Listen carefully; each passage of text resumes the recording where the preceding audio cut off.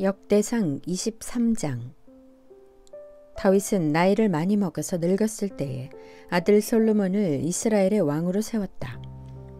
다윗 왕은 이스라엘 모든 지도자와 제사장과 레위 사람을 불러 모았다. 서른 살이 넘은 레위 사람의 인구를 조사하였는데 남자의 수가 모두 3만 8천 명이었다. 이 가운데 2만 4천 명은 주님의 성전 일을 맡은 사람이고 6천 명은 서기관과 재판관이고 4천 명은 문지기이고 나머지 4천 명은 다윗이 찬양하는 데 쓰려고 만든 악기로 주님을 찬양하는 사람이다. 다윗은 레위의 자손 게르손과 고핫과 무라리를 족속을 따라 갈래별로 나누었다. 게르손 족속에는 라단과 시므이가 있다. 라단의 아들은 족장 여히엘과 세담과 요엘 이렇게 세 사람이다. 시므이의 아들은 슬로밋과 하시엘과 하란 이렇게 세 사람이고 이들 모두가 라단 가문의 족장이다. 또 시므이의 아들은 야핫과 시나와 여우스와 브리아이다. 이 네 사람도 시므이의 아들이다.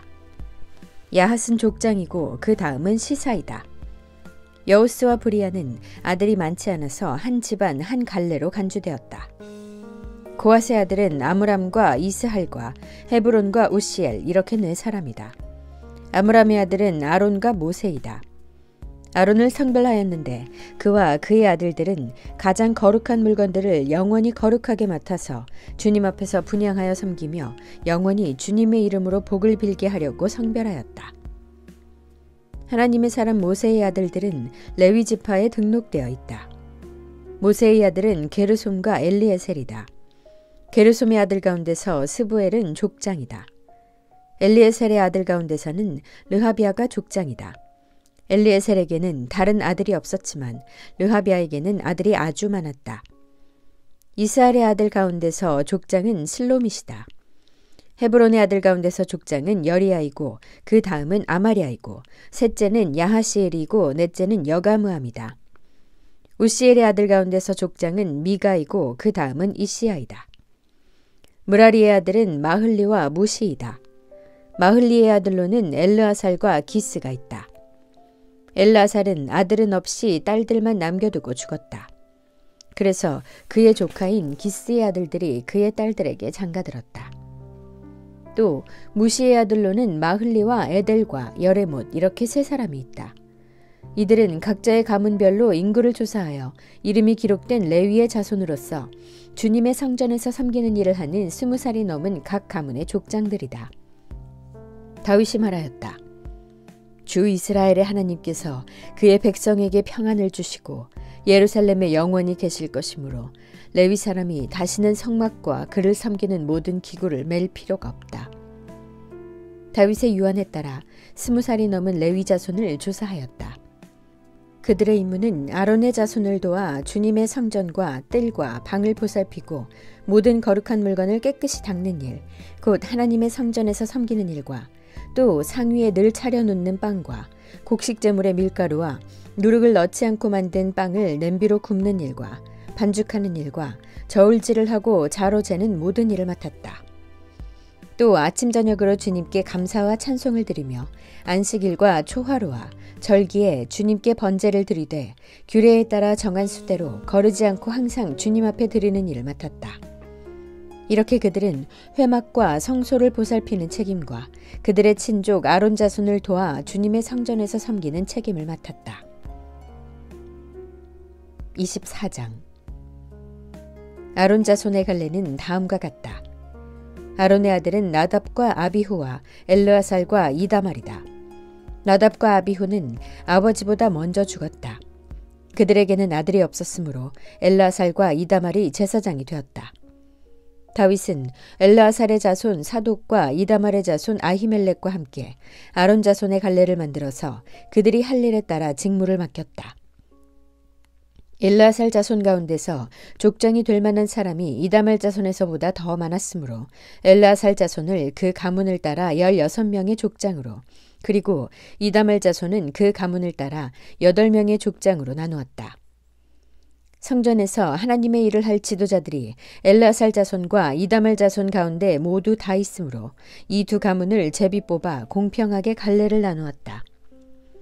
레위 사람 느다넬의 아들 서기관 스마야가 왕과 지도자들과 제사장 사독과 아비아달의 아들 아히멜렉과 제사장과 레위 사람 가문의 지도자들이 지켜보는 앞에서 엘라살과 이다말 가문 가운데서 한 집씩 제비를 뽑아 그들의 이름을 기록하였다. 첫째로 제비 뽑힌 사람은 여호야립이고 둘째는 여다야이고 셋째는 하림이고 넷째는 스오림이고 다섯째는 말기야이고 여섯째는 미야민이고 일곱째는 학고스이고 여덟째는 아비야이고 아홉째는 예수아이고 열째는 스가냐이고 열한째는 엘리야십이고 열두째는 야김이고 열셋째는 훗바이고 열넷째는 예세브압이고 열다섯째는 빌가이고 열여섯째는 인멜이고 열일곱째는 해실이고 열여덟째는 핫비세스이고 열아홉째는 그다히아이고 스무째는 여헤스겔이고 스물한째는 야긴이고 스물두째는 가물이고 스물셋째는 들라야이고 스물넷째는 마아시아이다. 그들은 하는 일에 따라 주님의 성전에 들어가서 주 이스라엘의 하나님께서 그들의 조상 아론을 시켜서 지시하신 규례대로 직무를 수행하였다. 나머지 레위 자손은 아므람의 자손인 수바엘과 수바엘의 자손인 예드야와 르하비아의 가문에서 족장 르하비아의 자손인 이시야와 이스라엘의 가문에서 슬로못과 슬로못의 자손인 야핫과 헤브론의 아들 가운데서 맏아들 여리야와 둘째 아마랴와 셋째 야하시엘과 넷째 여가무함이고 우시엘의 자손인 미가와 미가의 자손인 사밀과 미가의 아우 잇시야와 잇시야의 자손인 스가랴와 므라리의 자손인 마흘리와 무시이다. 또 야아시야의 아들인 브노가 있다. 므라리의 자손 야아시야 가문에 브노와 소함과 삭굴과 이브리가 있고 마흘리 가문에는 엘르아살이 있다. 엘르아살에게는 아들이 없다. 기스 가문에 기스의 아들 여라므엘이 있고 무시의 자손으로 마흘리와 에델과 여리못이 있다. 이들이 가문별로 등록된 레위 자손이다. 이들도 그들의 친족인 아론 자손과 마찬가지로 다윗 왕과 사독과 아히멜렉과 제사장과 레위 사람 가문의 족장 앞에서 제비를 뽑았다. 가문의 종가이든 가장 작은 집이든 공평하게 제비를 뽑았다.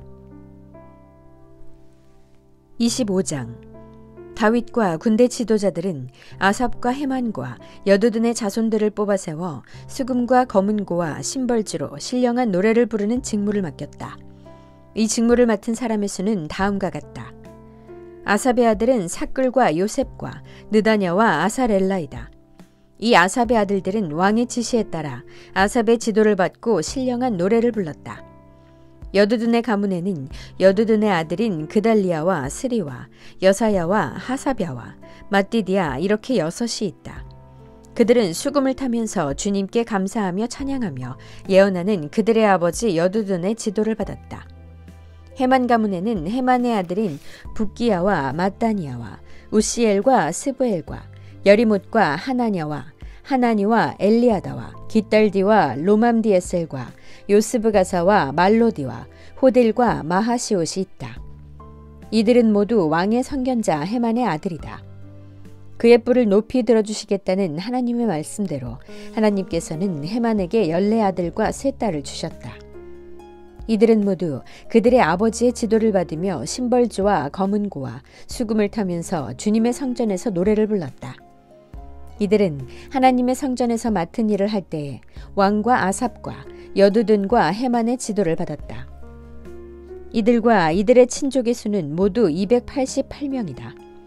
이들은 모두 주님을 찬양하는 법을 배운 능숙한 사람들이다. 이들이 제비를 뽑아서 책임을 맡을 때에는 대가나 초보자나 스승이나 배우는 사람이나 구별을 두지 않았다. 첫째로 제비 뽑힌 사람은 아삽 가문의 요셉과 그 아들과 형제 12명.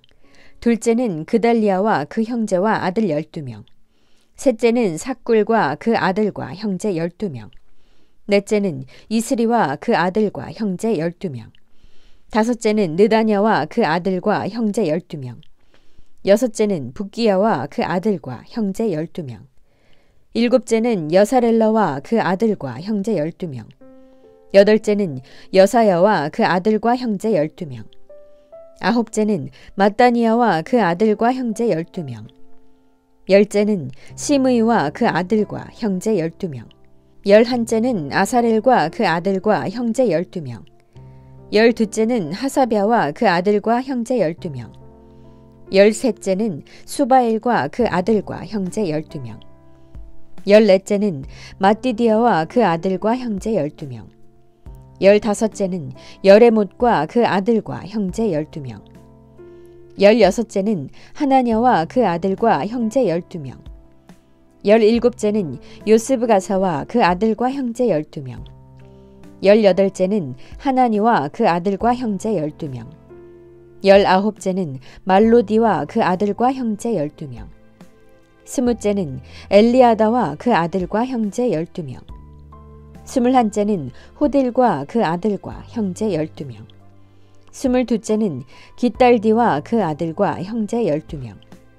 스물셋째는 마하시옷과 그 아들과 형제 12명. 스물넷째는 로맘디에셀과 그 아들과 형제 12명이 뽑혔다. 아멘.